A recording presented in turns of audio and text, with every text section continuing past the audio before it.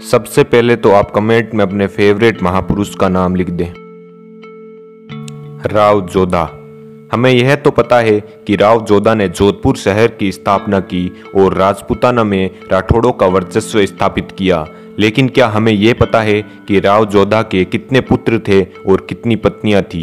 इस बात की रिसर्च मैंने इंटरनेट पर की, लेकिन मुझे नए के बराबर जानकारी मिली। इसलिए मैंने एक किताब है जिसका नाम है करमसोत राठौड़ों का इतिहास। उस किताब में से मैंने उल्लेख किया है। और जिसने भी अभी तक सब्सक्राइब नहीं किया है सब्सक्राइब कर दें।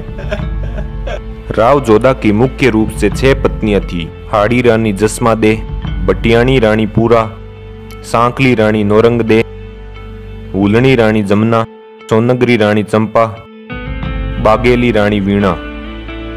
अब बात करते हैं कि राव जोधा के कितने पुत्र थे। मुख्य रूप से राव जोधा के सत्रह पुत्र थे।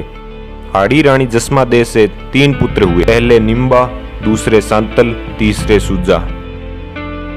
पटियाणी रानी पूरा से छह पुत्र हुए। करम सिंह, रायपाल, वनवीर, जसवंत, कुंपा, चांदवराव।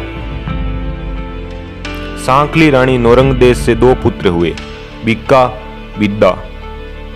हुलनी रानी जमुना से दो पुत्र हुए, जोगा, बारमल। सोनगरी रानी चंपा से भी दो पुत्र हुए दूधा वर सिंह बाघेली रानी से भी दो पुत्र हुए, सामंत सिंह, शिवराज। अब बात करते हैं कि इन पुत्रों ने मुख्य कार्य क्या क्या किए। करम सिंह, इसके वंशावले करम सिंहोत कहलाई। इसने क्यूसर बसाया? जोधा ने इसे नादसर दिया था और कांदल को भी साथ भेजा था।